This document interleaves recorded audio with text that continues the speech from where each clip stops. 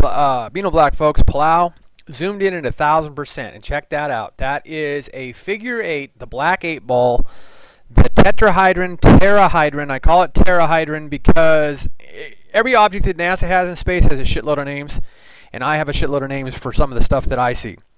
Because this thing is the black eight ball, and we see almost an eight ball of light. And that was zoomed in at a thousand, and then I just go through the photos that I got. I started zooming in and out at like a hundred started off at like 25. You're going to think that it's when you're watching the video, you're going to think, hey, it's one of the scientists walked out there again. It's not. And I'm wondering if they're picking up meteor or asteroid material down there, which is fine. They have it, yeah, but I'm pretty sure it gets internationally shared since mining is illegal down there. It's basically supposed to be all grouped together with a bunch of countries have a uh, compact. Okay, so I'm just popping back into the thousand as I zoomed out. It's Nehemiah's Palau, and that is going to end up being as I go through these. It might get a blur as I'm going back through it, but I try to slow down. We get 950 and I get to 975 and then there's a thousand as close as I can get. Now you can make snapshots and go to you know what software and play around with it on art okay and blow up these shots even more. Should be able to. Okay, getting away from this shot real fast so the idea that you will see it in the video to save video time. Because this popped in at 1820 and it's triangulations folks because and that's just a very tight triangulation of this stuff because there before there it is it pops in and there it is it's gone okay? That's your clock. Look for your clock times right there on the screen okay? In I mean not there pop in okay I dream of Jeannie the evil little uh, in-law mother-in-law okay I mean just joking around folks but pop in pop out same stuff I've so showed you that basically uh, comes in down at Casey Station. We want to thank the British, but most importantly, we'd like to see what happens at 1600 hour and 1700 hour because if you notice up here, it's missing, and it's missing for a good reason because we're going to go down to. Uh,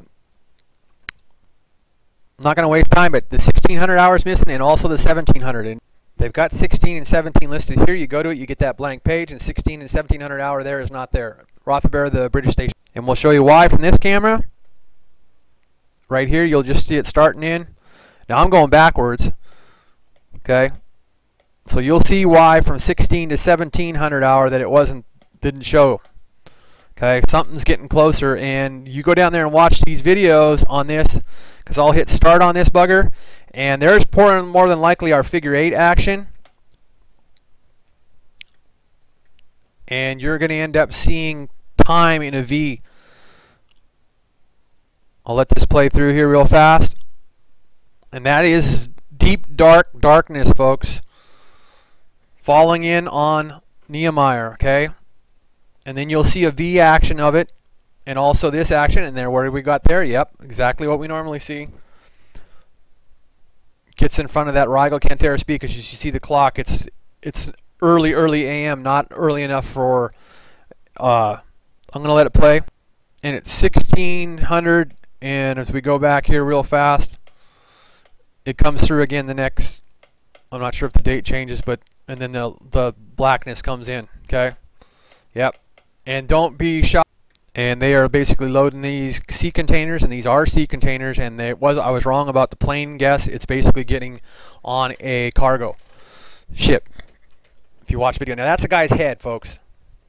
He, he was up by the camera. And to make to emphasize that for you, don't let anybody try to fool anybody or mess anybody up thinking that that was that big object that we get on the other cameras because basically they were down by the camera, a couple guys, and some guy got his head in the shot. Okay. But there is our 16 to 30 and 1640 and 1700 hour there. That's not it. It's a guy's head, okay? So, they do get, as you see, they start to get the shadow coming across, okay, the object, and then the dark light. Now, if you see and you go back in and you take pictures of this yourself too, also, there it is there, or one of them, on the other side, okay? And we know that that's a marker that they have out there all the time. That right there is a marker they have all the time, but it was on the other side of the power cord or don't get lost line, okay? and there is a shot of a three triangulation and just about every day down at Davis Station this big object comes across the sky folks 1:50 AM down there okay and then there, uh, there's the shots of that terahydron tetrahydron because there's two pieces of diamond there black diamond there black diamond there and then that so I'm going to try to get some more pictures here to you. And the idea that that's the ferry or whatever, the ship or whatever that comes in, either that or it's some kind of a almost a submarine icebreaker or something like that that they've customized made to get the sea containers out of there. Alright, and they also have a lab or something like that, or that's part of the ship, I guess, or the barge. Crane is taking those sea trains out. Uh, there is our object there is your time. So I zoom in on it there and it's a basically a black diamond on the corners and crystal in between. So it's almost like diamonds in space. And IE diamonds are not as rare as everybody thinks there is. If you don't believe me, there's a park down in uh, Georgia. Go to go to it.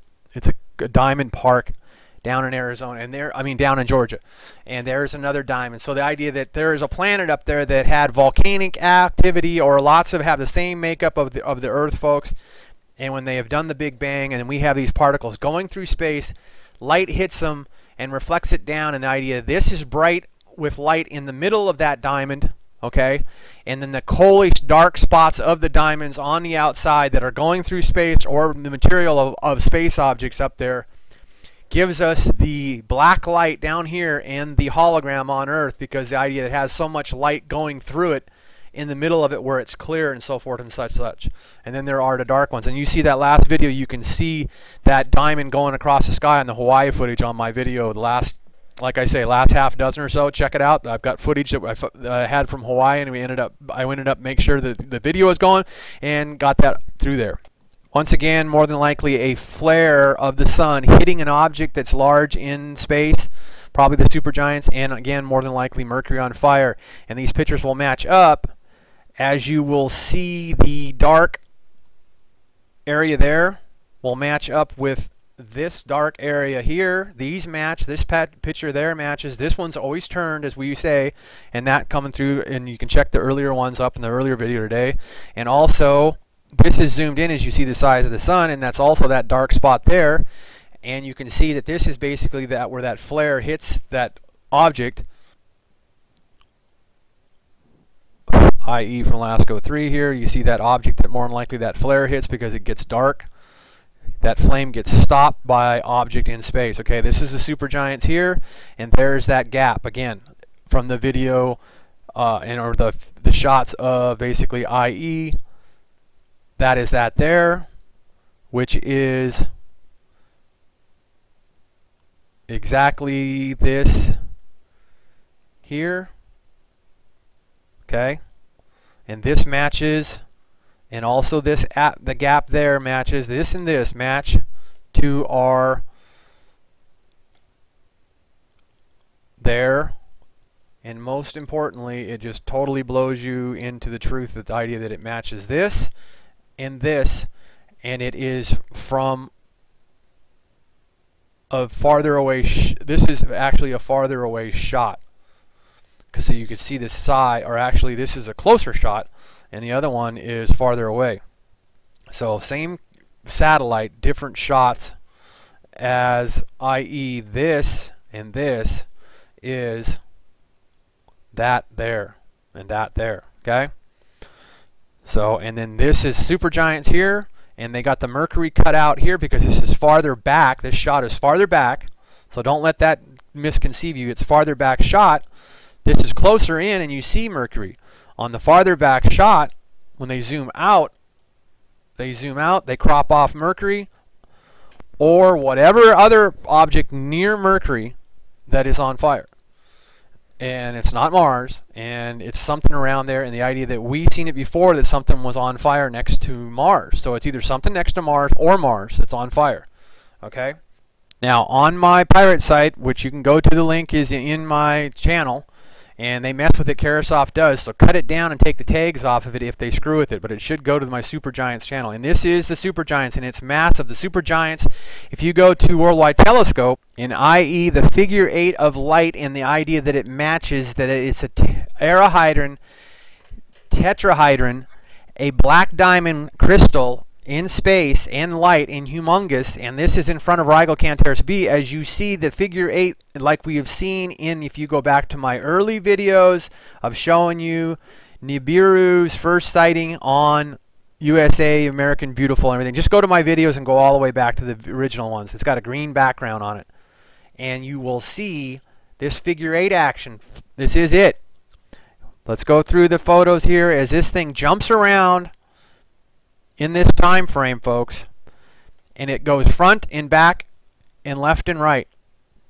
I have to cue up to, all the physicists and scientists and astronomers out there and astrologers and whatever. The idea of the size of the sun and the humongousness of this has to be Mercury more than likely or something next to Mercury that caught on fire that could burn that big because it didn't leave right away and we still see it in Soho i.e. it's still in Soho, ladies and gentlemen. It's right friggin' there, and they don't let you see it.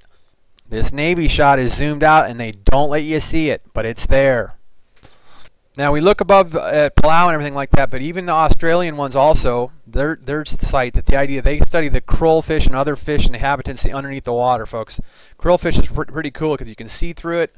It's... Uh, kind of a somewhere between a fish and a jellyfish because the idea that you can see right through it and as you can see its tail there as it gets its reflection down onto the bottom of the Antarctic there, water, and that's real clear water down there. And as you can see, there's some baby ones or smaller or other different around, and they do real good study down there on the krill fish. Okay, so check those out.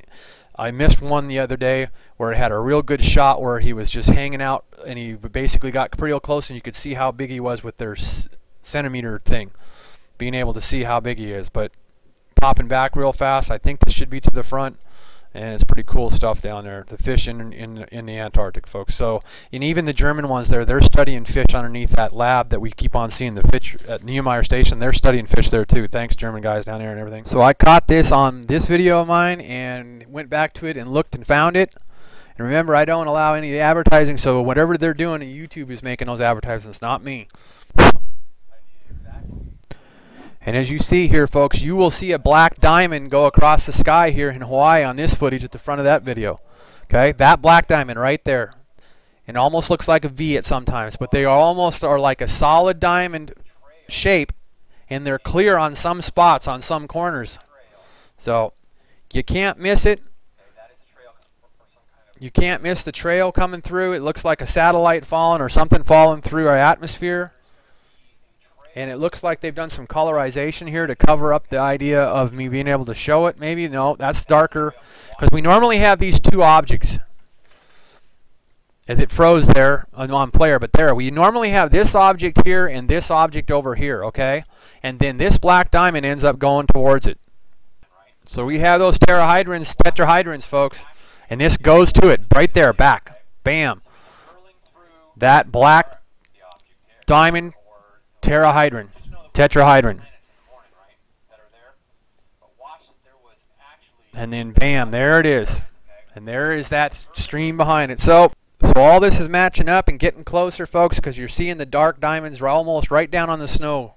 And here's your eight that I'm talking about, the eight ball, because it's the figure eight up there.